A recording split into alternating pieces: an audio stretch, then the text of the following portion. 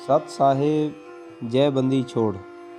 ਸ੍ਰੀ ਸਤਿਗੁਰੂ ਭੂਰੀ ਵਾਲੇ ਗੁਰੂ ਗੱਦੀ ਪਰੰਪਰਾ ਵੱਲੋਂ ਜਿੱਥੇ ਸਮਾਜ ਨੂੰ ਨਾਮ ਅਤੇ ਬਾਣੀ ਨਾਲ ਜੋੜ ਕੇ ਜ਼ਿੰਦਗੀ ਜੀਣ ਦੀ ਸੇਧ ਦਿੱਤੀ ਜਾਂਦੀ ਹੈ, ਉੱਥੇ ਹੀ ਗੁਰੂ ਗੱਦੀ ਪਰੰਪਰਾ ਵੱਲੋਂ ਸਮਾਜ ਭਲਾਈ ਦੇ ਵੀ ਅਨੇਕਾਂ ਹੀ ਕਾਰਜ ਕੀਤੇ ਜਾ ਰਹੇ ਨੇ।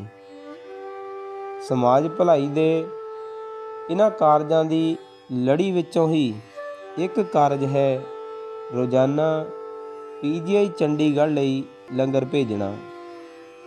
ਸ੍ਰੀ ਸਤਿਗੁਰੂ ਭੂਰੀ ਵਾਲੇ ਗੁਰੂ ਗੱਦੀ ਪਰੰਪਰਾ ਦੇ ਮੌਜੂਦਾ ਗੱਦੀ ਨਸ਼ੀਨ ਸ੍ਰੀ ਸਤਿਗੁਰੂ ਵੇਦਾਂਤ ਆਚਾਰਿਆ ਜੀ ਮਹਾਰਾਜ ਜੀ ਦੀ ਪ੍ਰੇਰਣਾ ਅਤੇ ਆਸ਼ੀਰਵਾਦ ਸਦਕਾ ਅਤੇ ਗੁਰੂ ਗੱਦੀ ਪਰੰਪਰਾ ਦੀ ਸੰਗਤ ਦੇ ਸਹਿਯੋਗ ਦੇ ਨਾਲ ਮਿਤੀ 14 ਅਪ੍ਰੈਲ 2015 ਤੋਂ ਲਗਾਤਾਰ ਪੀਜੀਆਈ ਚੰਡੀਗੜ੍ਹ ਲਈ ਰੋਜ਼ਾਨਾ ਦੇਸੀ ਘਿਓ ਨਾਲ ਤਿਆਰ ਲੰਗਰ ਭੇਜਿਆ ਜਾ ਰਿਹਾ ਹੈ ਅਤੇ ਉਦੋਂ ਤੋਂ ਹੀ ਸ੍ਰੀ ਸਤਿਗੁਰੂ ਮਹਾਰਾਜ ਜੀ ਦੀ ਰਹਿਨੁਮਾਈ ਹੇਠ ਇਹ ਲੰਗਰ ਨਿਰਵਿਘਨ ਜਾਰੀ ਹੈ।